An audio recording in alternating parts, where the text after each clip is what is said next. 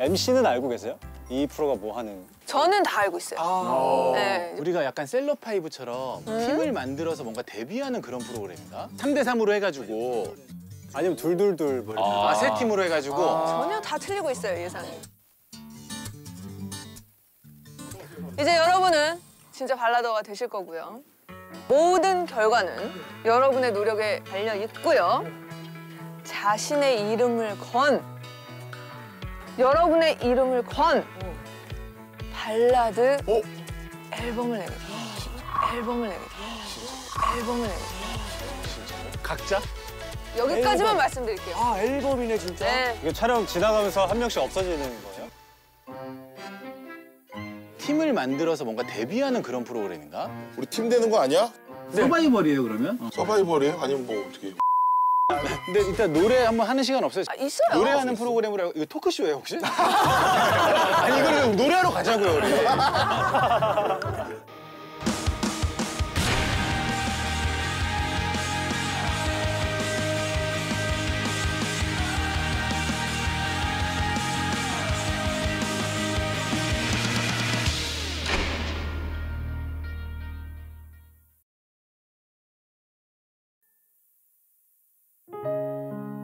시작을 모르는데.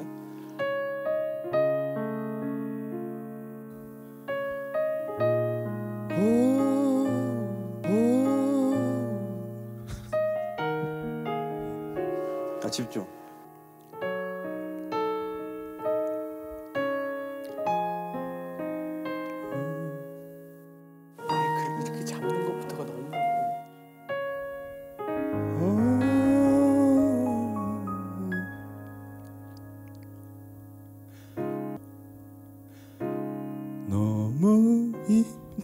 힘들어요 힘들어요 들어다. 다른 사람 곁에 그대가 있다는 게 어 좋아 위기 넘겼어.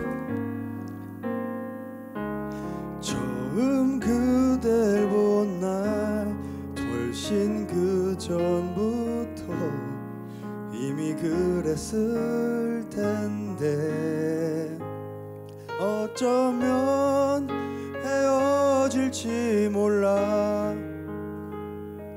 힘겨운 기대를 해봐도 단 한 번 힘들어하는 표정 없이 행복해하는 그대가 싫어요 나를 사랑하면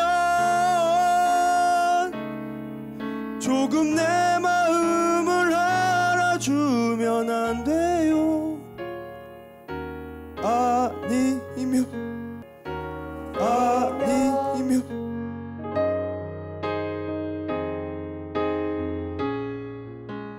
저는 발라드를 너무너무 사랑하는 사람이고요. 어, 18살 때 첫사랑을 정말 어, 온 마음 다 바쳐서 좋아했었던 그때 어, 가장 많이 들었던 그리고 많이 불렀던 네, 곡이어서.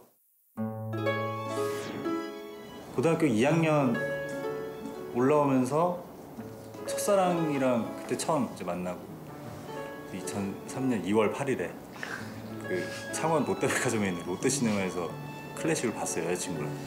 첫사랑이랑 그 영화의 메인 테마가 그랬나 봐였어요.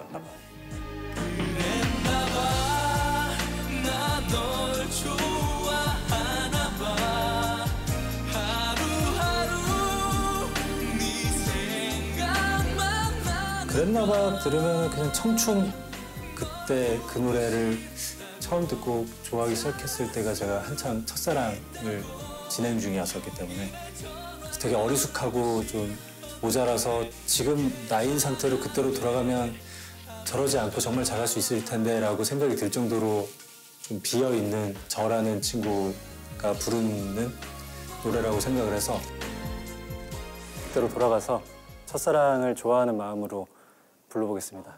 김영중의 그랬나봐. 아, 알겠습니다.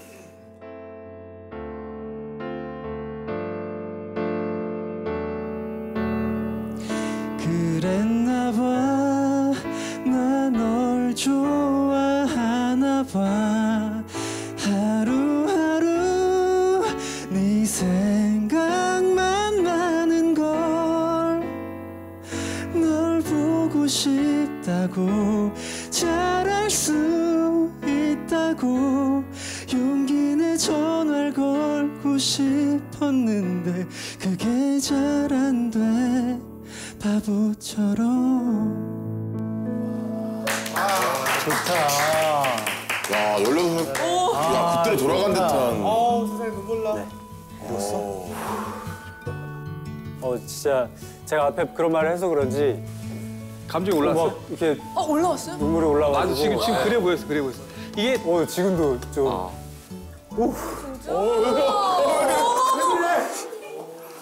얘가 또 2시간 반 기다렸잖아. 그게 아니라. 왜 진짜 왜 그래? 야, 오늘. 어, 제가 제가 막 연기를 소름 돋게 잘하는 사람이 아니거든요. 그래서 이게 눈물이 원할 때 나오는 사람이 아닌데 진심이었어, 맞아. 이게 이게 발라드의 힘이라는 거고. 맞아요. 어 너무 당황스러워서 어떡해.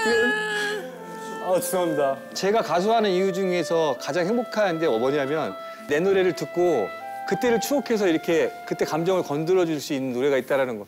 지금 이 그랬나 봐도 우재 친구한테는 끄집어낼 수 있는 추억이 있다는 거 좋은 거죠. 그냥. 그러니까 우재 우재 노래를 들으면서 저는 또 다른 게 또 생각이 나고. 여기 있는. 모든 사람들이 자기만의 추억 여행을 한 것 같아요. 아 진짜 발라드에 힘이 있네요. 그럼요. 하